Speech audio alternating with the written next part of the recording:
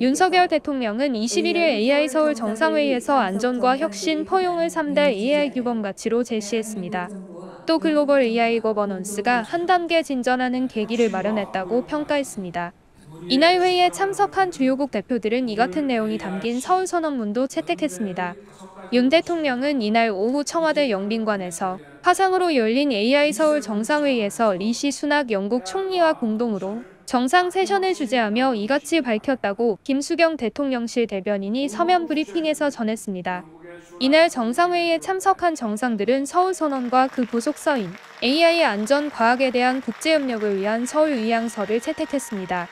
서울의향서란 AI 안전연구소 간 네트워크를 구축하고 AI 안전성 제고를 위한 상호협력의 세부 사항을 제시한 문서입니다. 또 이날 회의에 참여한 기업들은 AI 위험을 예방하기 위해 책임 있는 AI 개발을 약속하는 자발적 공약인 프론티어 AI 안전 사약에 참여했습니다. 한편 차기회의는 프랑스가 AI 행동 정상회의라는 명칭으로 개최하기로 했습니다.